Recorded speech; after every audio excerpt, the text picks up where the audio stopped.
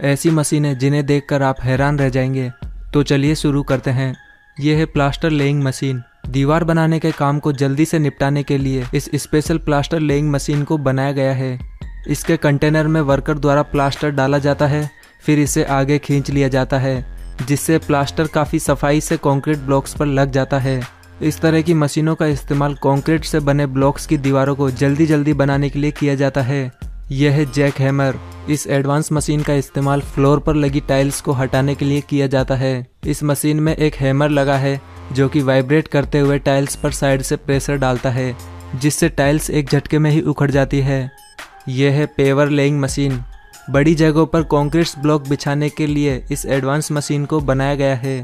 ये machine concrete blocks के एक पूरे ब्लॉक को ही उठाकर ज़मीन पर बिछा देती है। ये है ऑटोमेटिक प्लास्टरिंग मशीन। दीवारों पर प्लास्टर के काम को जल्दी से निपटाने के लिए इस ऑटोमेटिक प्लास्टर लेइंग मशीन को बनाया गया है। सबसे पहले इस मशीन को दीवार के पास रखा जाता है, फिर इसमें वर्कर के द्वारा प्लास्टर को लोड किया जाता है और इसमें लगे एक बटन को दबाने के बाद मशीन अपना काम शुरू कर देती है।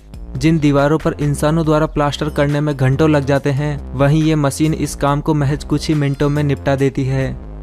ये है ब्लॉक स्प्लिटर कंक्रीट ब्लॉक्स को बिछाते समय अक्सर आपने देखा होगा कि किनारों पर थोड़ी जगह रह जाती है। इसलिए उन्हें अच्छी तरह काफ़ी सफ़ाई से भरने के लिए इन जगहों का नाप लिया जाता है और इन ब्लॉक्स पर निशान लगाया जाता है। फिर इन ब्लॉक्स को ब्लॉक स्प्लिटर के ज़रिए एक फिक्स शेप में तोड़कर बची हुई जगह में डाल दिया जाता है, जिससे इनके किनारे काफ़ी सफ़ाई से अच्छी तरह भर जाते हैं। यह है मैक्स रिपर। इस मशीन का इस्तेमाल घर बनाने के बाद उनकी दीवारों पर लाइट फिटिंग के लिए नालियाँ बनाने के लिए किया जाता है। इंसानों द्वारा कई घंटों में होने वाले इस काम को ये मशीन महज कुछ ही मिनटों में कर देती है। ये मशीन दीवारों पर काफ़ी आसानी से नाली बनाती जाती है, वो भी बिना किसी आवाज़ और धूल उड़ाए बगैर। ये है रिबार टाइंग मशीन। इस छोटी सी एडवांस मशीन का इस्तेमाल घर की छत बनाते समय उसमें लगने वाले लोहे के सरियों को बांधने के लिए किया जाता है। ये एक बैटरी से चलने वाली मशीन है जिसमें एक वायर का छोटा बंडल डाला जाता है। फिर इसी वायर का इस्तेमाल ये मशीन सरियों को बांधने के लिए करती है। ये मशीन एक घंटे में करीब एक हज़ार से भी ज़्यादा सरियों को बाँध सकती है। ये है ब्रिक हैंडल।